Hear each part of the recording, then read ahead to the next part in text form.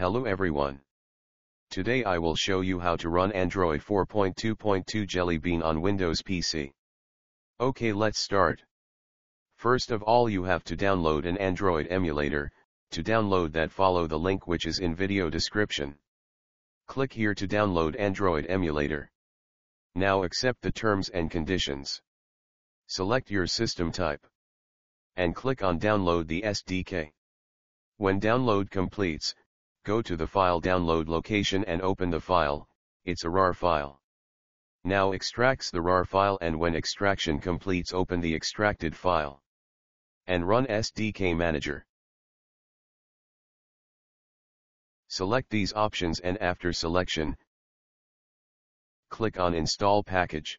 Now accept the license and then click on Install. Am not going to click on Install right now because I already install the packages. When installation completes it shows done loading packages. After that go to Tools and select Manage AVDs. Now configure your Android Virtual Device Manager for that select New. Set AVD name, select device on which you want to run Android OS. Select target, that is Android 4.2.2. Set RAM to 768 MB, VM heap to 32, internal storage to 1 GB or greater. Select host GPU and click on OK. Again click on OK.